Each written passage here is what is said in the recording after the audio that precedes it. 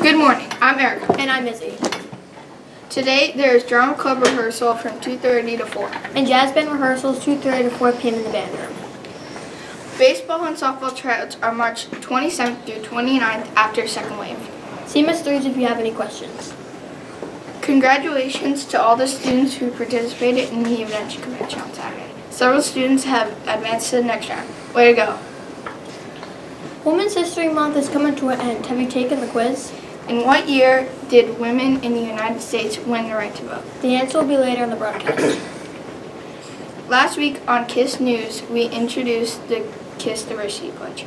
NJHS would like any KIS student who is interested in taking part to help create equality and promote community at our school to take the Di- KIS Diversity Pledge. Copies of the pledge can be found on the Global Citizens Wall. Completed pledge- pledges accompanied with your picture will be posted on the Global Citizen. Friday is a half day of school. Now on to the news.